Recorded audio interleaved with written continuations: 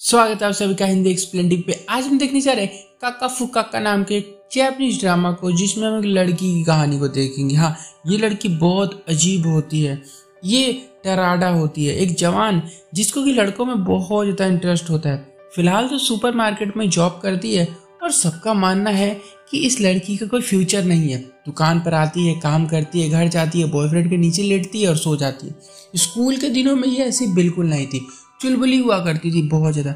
पता नहीं ये वैसी क्यों हो गई है। ना लाइफ में गोल्स है, ना ड्रीम्स है, कुछ भी नहीं होते हैं, और ये अपने कंफर्ट जोन में आ गई होती है। और हाँ इसका एक बेहद हरामी किस्म का बॉयफ्रेंड भी होता है, कई सालों से लिविंग में रहते हैं। तो रह रहे के बोर हो गए होते हैं, क्योंकि रोज कर कर के थक गए होते हैं ना। मुझे नहीं पता, मैं इतना सच क्यों बोल रहा हूँ। एल जनरेशन होती है इनकी, और आज इसका बॉयफ्रेंड न्यू लड़की लाया होता है घर पे, और डराडा से बोलता है चली जा अब तू, ये मेरे साथ रहेगी अब से। टराडा को घर से निकाल दिया होता है। दिल टूटा, वो अलग। अब इसका कोई ठिकाना नहीं होता, ना कोई अपना होता है। तो ये अपने स्कूल फ्रेंड से मिलने पहुँच जाती है। कोई सॉल्यूशन मिलेगा वहाँ पर? अब ऐसी बोरिंग लाइफ से बाहर आना होता है इसको। एक फ्रेंड बोली कि तुम्हें एक रेंटेड घर में दिलवा सकती हूँ, जिसका कम रेंट है। टराडा आ गई सामान उठाकर। घर तो अच्छा है, पर ये एक शेयर होम है तो इसमें कुछ लोग और रहते मतलब कि इसके साथ एक लड़का रहता है। और मज़े की बात तो ये होती है कि ये लड़का टेराडा का एक्स बॉयफ्रेंड होता है। अब उससे मज़े की बात यह होती है कि इन दोनों ने पास्ट में दवा दवा के प्यार मोहब्बत कर रखा होता है। पास्ट में बेसिकली पहली मोहब्बत हुआ करते थे दोनों एक दूसरे की, पर ब्रेकअप किसी अच्छे रीज़न से तो बिल्कुल नहीं हुआ था। तो डराडा यहाँ से जाना चाहती है, नहीं रहना उसको यहाँ पर पर अपने बैंक बैलेंस को देखती है जो कि बहुत लो हो गया होता है। तो रहना तो पड़ेगा भाई, मजबूरी है, घर तो चाहिए। अब एक्स की बात कर ले तो चुप है। इज़्ज़त से सब कुछ बता रहा होता है क्या कहाँ पर है घर में, और अगले दिन टराडा सामान उतारने लगती है ऊपर से तो पहुँच नहीं पा रही। ये इसके पास आया, इसकी हेल्प करने लगा, इससे टच हुआ, और जापान में इसे हेल्प कहा जाता है, और इंडिया में इसको हेरेसमेंट कहते हैं। अगर लड़का अगली है तो अगर लड़का खूबसूरत है ब्यूटीफुल है तो लड़कियाँ इसको क्यूट एंड रोमांटिक मूवमेंट का नाम दिया करती हैं। पर यहाँ फन आ जाता है। दोनों के पुराने जिस्मानी ज़रूरतें जाग जाती है, लेकिन एक्स को एक प्रॉब्लम होती है। इसका तोता रिस्पॉन्स नहीं करता, इसका कबूतर गुटर गु नहीं करता, इसके कैक्टस पर कांटे नहीं आते हैं, क्योंकि यह बहुत लड़कियों के साथ प्यार मोहब्बत कर चुका है। पर यहाँ मज़े की बात यह होती है कि टराजा से टच होते ही इसके कबूतर ने गुटर गु किया। गु नहीं मतलब गु किया। अब ये जान के इसका एक्स बहुत खुश होता है कि चलो, मुझे रेप्टाइल डिसफंक्शन नहीं है, शायद इसको यही कहते हैं, यानी नपुंसक होता है ये अब मेरे साथ प्यार मोहब्बत कर लो इसको ऐसी बात कर रहा होता है तुम मेरे साथ रात को मेरे से चिपक के सो जाया करो। मेरा कबूतर गुटरू करने लग जाएगा, और तुम भी ऐसा मज़े ले लेना ज़िंदगी के बोरिंग लाइफ से बाहर आ जाओगी। ये सच में ऐसा बोलता है उसको।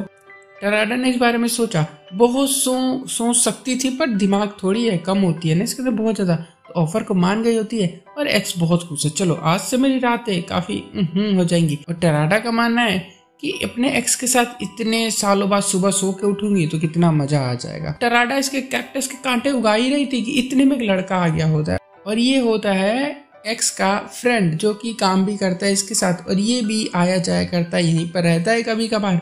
और इन्हें ऐसी सिचुएशन में देखकर बहुत खुश हो रहा था। वाह आज लाइव देखूँगा इंटरनेट का खर्चा बचेगा। वैसे एक्स का नाम टोमोया होता है, मैं यहाँ पर बता दूँ। ये लड़का दोनों को समझाता है, बातें करता है, कहता है, दोनों दूसरे को टच किया करो, क्या पता हम्म हो जाए। और आज की रात वही रात होती है। इस रात तो मोया का मुर्गा बाग देने वाला है और दोनों सो जाते हैं। अगली सुबह टराडा गिल्ट में जागती है कि, अरे यार, ये ऑफ़र क्यों एक्सेप्ट कर लिया मैंने? और टोमोया से बोली कि, मुझे अब डील कैंसिल करनी है। टोमोया बोला कि मेरी बात तो सुनो। अब लड़के जहाँ बोल बैठे कि मेरी बात तो सुनो तो लड़कियों ध्यान देना कि वो झूठ बोलेगा हरामी है मारो उसको। मुझे बुक लिखना बहुत पसंद है, पर इंस्पिरेशन नहीं मिल पाती है कहीं से। मेरा दिमाग खाली है, मैं सोच नहीं पा रहा हूँ। मैंने सोचा कि बेटा तू इसलिए नहीं सोच पा रहा है क्योंकि तू दिमाग से नहीं, कहीं और से सोच रहा है। कहता तुम मेरी इंस्पिरेशन को वापस ला सकती मेरे साथ सोकर ऐसी बहकाऊ बातें सुनकर टराडा डील को वापस मान गई होती है। बस तीन रात ही सोएगी इसके साथ ऐसी डील हुई होती है। अगले दिन वो लड़का फिर वापस आता है। ये जानता है कि ये दोनों घर में क्या करते हैं। सोचता है कि चलो, मैं क्यों पीछे हटू?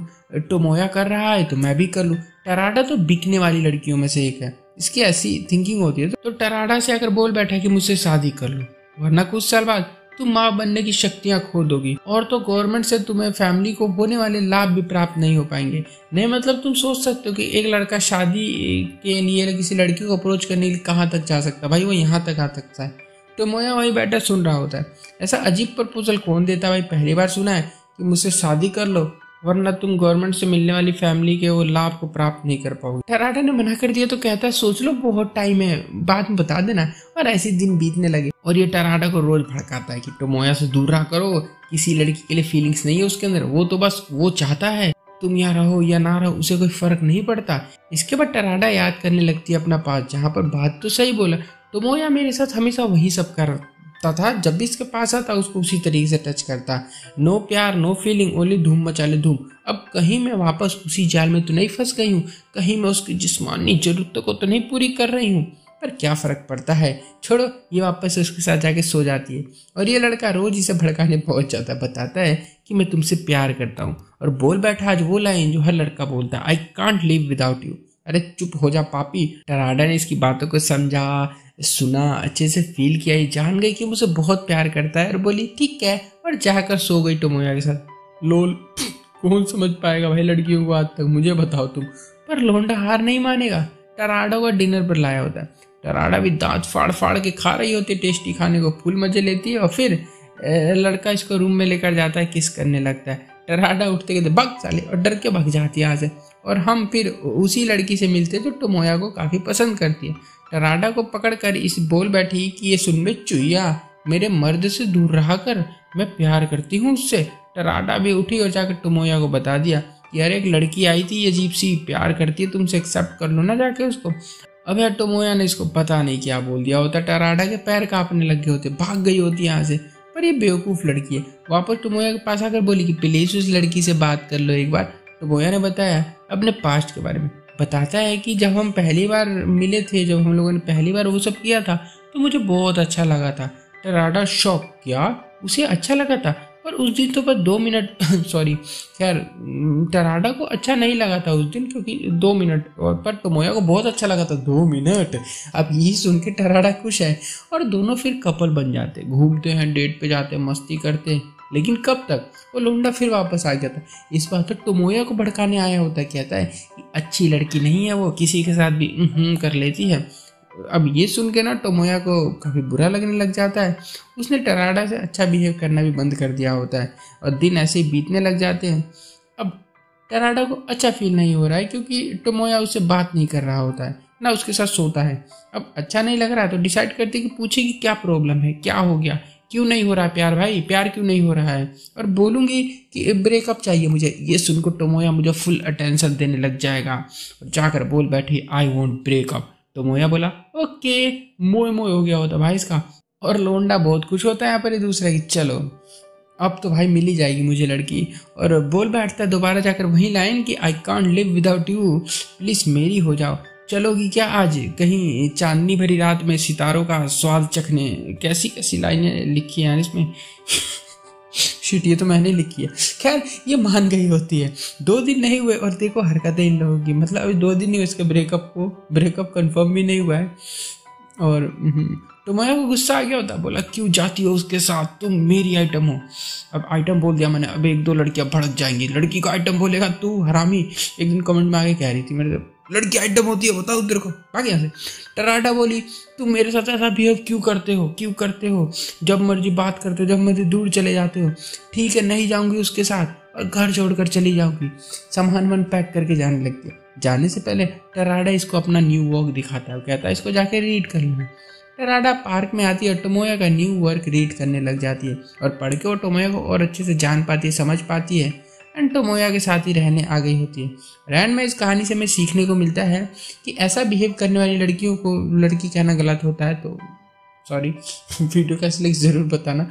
और ये एक, देखो, ऐसा ना, इसके अंदर तुम देखोगे तो तुम्हें समझ आएगा, ये कॉमेडी और ऐसा रोमांटिक और थोड़ा एटीन प्लस टाइप का ड्रामा है, जहाँ पर मुझे खुल के तो नहीं पता बट इसमें मैं लड़के का ये बताया गया है ना कि जैसे एक लड़की के साथ वो रिलेशन में आता है तो उसके अलावा उसका और कहीं पे मन नहीं लगता, कहीं और वो उसके कबूतर गुटर गु नहीं करता। और ये कहीं ना कहीं सच बातें भी होती हैं।